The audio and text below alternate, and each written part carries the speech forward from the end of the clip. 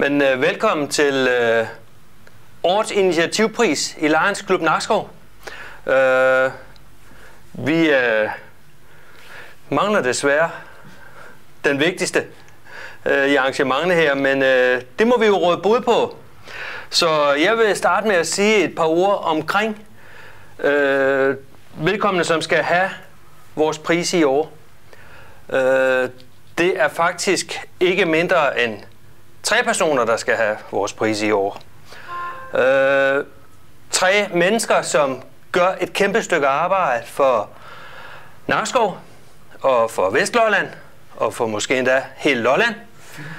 Og øh, det vil vi gerne have lov til at honorere, fordi vi ved, at det er frivilligt arbejde. Det er mennesker, som bruger penge af egen lomme, for at vi andre vi kan føre os frem. Så derfor vil jeg godt have lov til at sige, at årets prismodtager, det er Nakskov Web TV. Og jeg er rigtig glad for, at I kunne være her alle tre. Så øh, jeg ved ikke, hvem der vil modtage prisen, men øh, Palle er vel sådan primus motor i det. Så nu henter jeg lige her. Det undrer mig også Palle, stort tillykke, og det har I fortjent. Jeg ved jo det der kæmpe stykke arbejde, som I gør.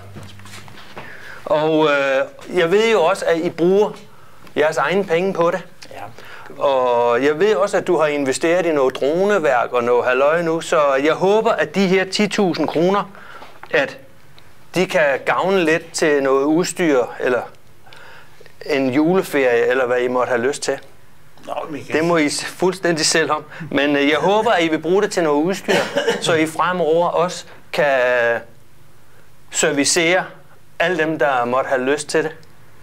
Så stort tillykke med det. Jeg er stolt over, Det har I jeg fortjent. kan få prisen her sådan.